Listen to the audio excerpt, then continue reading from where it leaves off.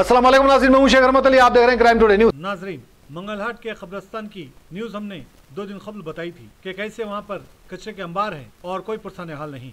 आज इस कब्रस्तान के मुतवली सैयद बासित आशुर खाना, इमाम हुसैन, तकिया कब्रस्तान मुराद बी, मंगलहाट, राजदार खान पेट की जानिब से सारे कब्रस्तान को साफ़ किया गया और इन्होंने एक वीडियो भी हम तक पहुंचाई और कैसे इस कब्रस्तान में ये कचरा आ रहा है, इस बात का भी इन्होंने खुलासा किया। बताया गया है कि इस कब्रस्तान को लगकर कई मकानात हैं और वो मकानात के जिम्मेदारों की जानब से ये कचरा कब्रस्तान में फेंका जा रहा है। और लगातार कई बार बोलने के बावजूद भी कोई भी तवज्जो नहीं दी जा रही है। बड़ी अफसोस की बात है। नाजरीन, हर हमेशा हम कब्रस्तान के जिम्मेदारों को खड़ा नहीं कर सकते। कुछ हमारी भी जिम्मेदारियाँ हैं। अगर हम कब्रस्तान के दामन में रहते हैं या कब्रस्तान से लगकर हमारा मकान है तो हमारी ये ज़िम्मेदारी है कि हम भी कब्रस्तान को साफ़ रखें। लेकिन इस तरह से कचरा फेंकना ये ठीक बात नहीं। हम दूसरों पे इल्ज़ाम लगाते हैं, लेकिन हमारी भी ये ज़िम्मेदारी है कि हम भी कब्रस्तान का तहफ़ करें कब्रस्तान को साफ़ रखें।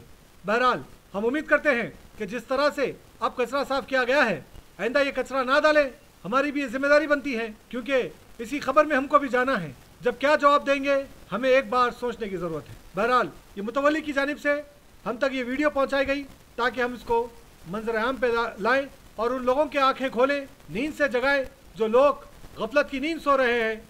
वो खुशकस्मत है जो खबरस्तान के बाजू का मकान है।